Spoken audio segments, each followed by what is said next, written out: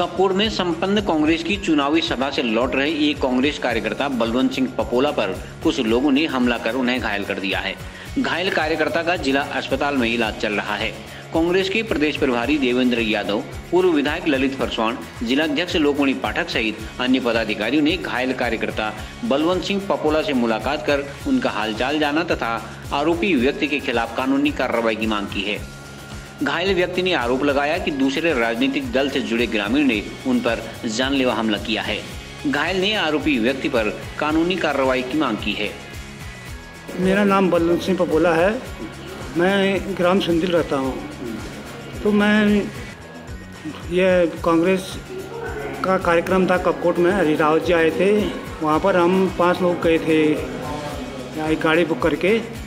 आते समय जानबूझ के दोनों ये हरीश सिंह मेहता और उसकी बीवी तो रास्ते में बैठे थे वो घात घात लगा के। किस जगह पे? कि अपने एक मकान के नीचे रोड की साइड में। कहाँ पहुँचा हुआ? कहाँ सुंदली हुआ जुनाइल जुनाइल हुआ क्षेत्र हुआ। जुनाइल। बॉर्डर में सुंदील और जुनाइल के बॉर्डर में। उसी के घर है जुनाइल में है। तो अपने मकान से सौ दो सौ मीटर जहाँ से हम नीचे को रास्ते जाते हैं पता नहीं कहाँ छिपा था हमने नहीं देखा उसको। तो हम जैसे ही नीचे नीचे को आए तो गाली गलौज दोनों मियाँ बीवी गाली गलौज करने लग गई तो उतने मैंने अपने साथियों को कहा, तुम इसकी बात मत सुनो, तुम सीधे चलो। तो इतने में उसने, दोनों मियाँ बीवी ने पत्थरबाजी शुरू कर दी। पत्थरबाजी शुरू कर दी तो हमारे भाई, ये भाई लोगों ने उसको समझाया, पत्थर के मारे? तो इनको ये मालूम नहीं था कि मेरे सर में चोट आ गई। तो मेरे सर में चोट आई तो मैं बेहोश हो गया, वहाँ पर वहाँ गिर गया। तो मैं अपने ऐसी सर पकड़ के मैं फिर सीधे नीचे को आ, आते रहा फिर ये ये लोग आए थोड़ी देर में। मैंने भी पटवारी को फ़ोन किया 108 को फ़ोन किया। तो महोदय मैं उस समय बेहोश हो गया था।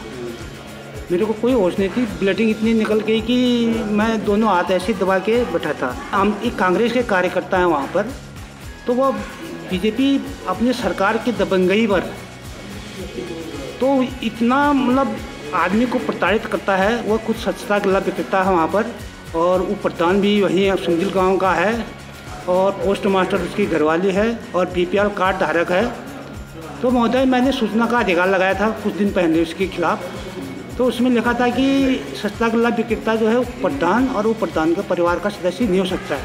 फिर भी वह सस्ता गल्ला पाँच सालों से सस्ता गला विक्रेता बना है, फिर तीन साल होने को हैं, फिर दोबारा वह वो प्रधान है। अभी भी वो प्रधान है वो तो मैंने कहा, इसी आधार पर वो हम एक पार्टी में, जैसे हम कांग्रेस पार्टी में तो हम कांग्रेस पार्टी के झंडा लगाते हैं गाँव में। तो ये झंडा क्यों लगा रहे हैं गाँव में? क्यों पार्टी में जा रहे हैं? तो इस प्रकार से हमें, हम सब लोगों को प्रताड़ित करता है वहाँ पर। तो आपने एफआईआर करा दी हमने एफ़ आई आर नहीं अभी यह अपना ट्रीटमेंट कराया। यहाँ पर 108 के कल शाम आ गए थे। यहाँ पर दस बजे से यहीं पर बैठे हैं। तो आज संडे होने की वजह से फिर पटवारी जी को फ़ोन किया। वो आए थे यहाँ पर।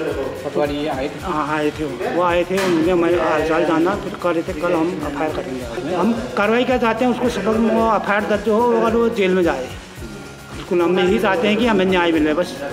जो हमारे आठ नौ टाँके लगे हैं मेरे सर में, वो उससे दोनों मियाँ बीवी वो जेल जाए। बस यही है यही कार्रवाई चाहते हैं, हम बाकी कुछ नहीं चाहते सरकार बलवंत सिंह हमारा पपोला है सुंदिल जुलाइन के कार्यकर्ता हैं। उनको भारतीय जनता पार्टी के कार्यकर्ता ने जो है बहुत पीट रखा। कल पूर्व सैनिक सम्मान समारोह से वापसी घर जाते वक्त अपने घर के हाथ लगाकर बैठे थे दोनों पत्नी हस्बैंड वाइफ। उन्होंने बहुत ज़्यादा पीट रखा है। और इस समय हमने जिलाधिकारी से भी मिलकर कहा है, पूरे जिला पंचायत अध्यक्ष जी के साथ, अपने ब्लॉक कांग्रेस कमेटी के अध्यक्ष जी के साथ और जिला कांग्रेस कमेटी के अध्यक्ष जी के साथ कि तत्काल जो है ऐसे ऐसे लोगों के खिलाफ जो है दंडात्मक कार्रवाई होनी चाहिए और दोषी को तत्काल जो है पुलिस सलाखों के पीछे होना चाहिए।